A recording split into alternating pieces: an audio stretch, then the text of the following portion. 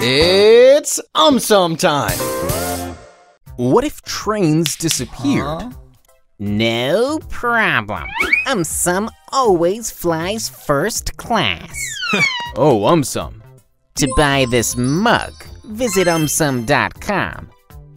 Firstly, if trains disappeared, sale of cars would skyrocket. Hmm. Secondly, if trains disappeared, city roads might get heavily congested again. Hmm. Thirdly, if trains disappeared, cost of traveling might increase as taxis are generally more expensive. Hmm. Fourthly, modern trains are being built using billions of dollars. If trains disappeared, government's treasury may get empty soon. Hmm. Lastly, modern trains are being run on clean energy. If trains disappeared, pollution levels might go up. Hmm. What if there were no airplanes? Then I will launch my AumSum Space Company. Wow, AumSum. Firstly, the Wright brothers who invented the airplane would not be famous anymore. Secondly, with no airplanes, trains and ships would be extremely popular for long distance travel. Thirdly, with no airplanes, travel time will increase by a lot. Hmm. People will rarely travel across countries. Tourism industry will not be lucrative anymore. Hmm. Fourthly, with no airplanes, worldwide defense industry will look very different. Tanks might make a comeback. Fifthly, with no airplanes, humans will look to the sky, watch the birds and wish that one day even they could fly with them. Also, with no airplanes, people might start watching their favorite places on TV instead of traveling far off distances to visit them. On the flip side, with no airplanes, pollution levels will go down worldwide. Hmm. Why are airplane windows oval? Huh? Cause I told the airplane manufacturers to do so. Oh, stop bluffing. When airplanes fly at higher altitudes, the air pressure inside the Oh. airplane is more than the air pressure outside. Hence, the cabin slightly expands, thus creating stress which flows through the cabin's material. Now, when the windows were square or rectangular, the stress caused tension to build up at the corners Oh. of square windows. This tension produced cracks in the cabin, thus leading to crashes. Oh, so sad. Hence, this design flaw was corrected by making windows oval. oval windows provide a smoother path for stress to flow due to which tension is not produced and hence airplanes are safe. Hmm. What if boats and ships disappeared? No problem. AumSum can walk on water.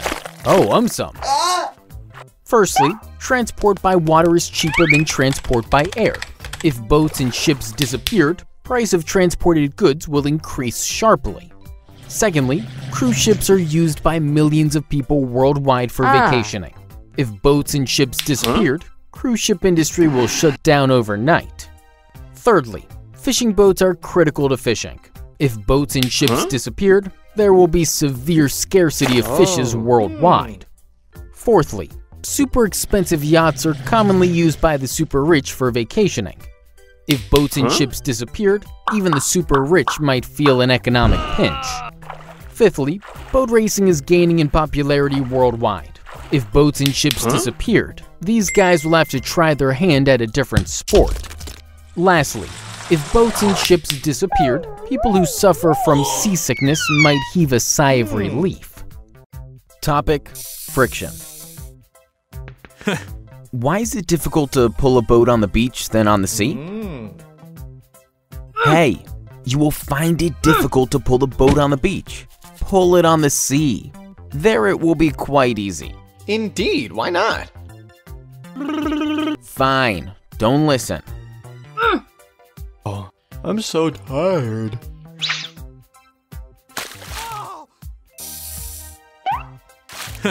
At least now try to pull the boat on the sea. Is quite easy. right? Yippee! Do you know why? Hmm. This is because of friction.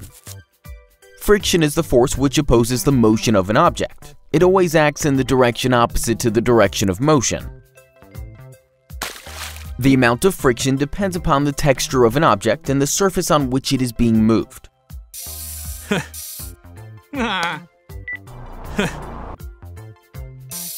Rough textures or surfaces offer greater friction as compared to smooth textures or surfaces. Arg! Do you want to say that my brand new boat has a rough texture? No. Even though the texture of the boat is almost smooth, the small particles of sand present on beach form a rough surface. Hmm. Hence, when we pull the boat on beach, the sand particles hmm. offer greater friction and hmm. oppose the motion of the boat, thus making it difficult to move the boat on the beach. Hmm. However, the sea being a liquid forms a smooth surface. Hence, when we pull the boat on sea, it offers less friction, thus making it comparatively less difficult to pull the boat on sea. Why do bubbles pop? Cause they like to make pop music. Nah. A bubble is basically a pocket of air surrounded by a thin, tenuous layer of soapy water.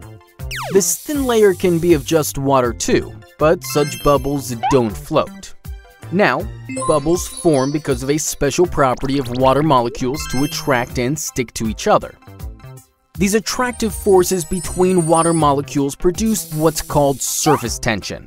This surface tension, along with the air pressure from inside and outside the bubble, create a fragile equilibrium and keep the bubble from popping. However, since the equilibrium is fragile, just a gust of wind or our dry finger easily breaks the surface tension, thus breaking the tenuous layer and causing the bubble to pop. Besides this, dry air also causes the water to evaporate from the tenuous layer. Hence, it gradually gets uh-huh. thinner and thinner, and eventually, the bubble pops. Hmm. Why do we cry? Cause there isn't enough chocolate in the world. Not at all. When we experience any strong emotions, such as extreme ah. happiness or sorrow, hmm? it activates our brain's limbic system, which helps control emotions. This system informs our lacrimal glands present below our eyebrows to produce tears, thus making us cry. Now, crying is more than just a physical response.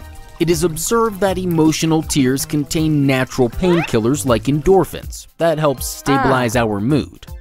Some studies even show that tears produced during emotions contain stress hormones like ACTH and enkephalin. So, crying might be our body's way of getting rid of such stress hormones, helping us feel oh. better. Besides this, researchers also think that crying serves a social purpose. It may be a nonverbal way of showing submission to the attacker or a way of gaining oh. sympathy, thus increasing the chances of survival. Snake versus mongoose. Who wins? I, me, and myself. Alright. A snake, especially a cobra, is a tasty meal for the mongoose. So it fights to kill, while the cobra fights to defend itself. When the cobra strikes, the mongoose's lightning speed helps it dodge the strikes, causing the cobra to miss repeatedly. But what if the cobra succeeds in striking? Toxins in the snake's venom attach to the acetylcholine receptors, blocking communication oh. between nerves and muscles, ultimately causing death. However, in mongoose, these receptors are mutated or shaped differently. The toxin cannot attach to the receptors, making venom ineffective. Eventually, when the cobra gets exhausted, the mongoose snaps with its sharp teeth, killing the cobra and winning the battle. Mostly, hmm. between the cobra and mongoose, oh. mongoose wins. Hmm. However, if the snake is a viper or boa constrictor, then the mongoose can be killed. Hmm. Why can't babies walk at birth? Huh? Cause walking is boring. No, dude. Oh. Newborn elephants or horses walk shortly after birth, while human babies need almost one year. This is because the human brain is not developed enough at birth, while the brains of elephants and horses are. Once the brain develops over a year, human babies start walking.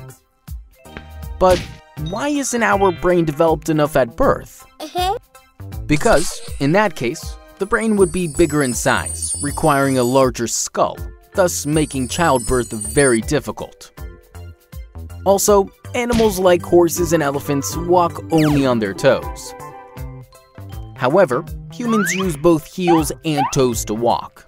This means they use the full length of their feet, making walking a more complex skill. Thus, this requires more coordination and brain power, resulting in more time for us to walk.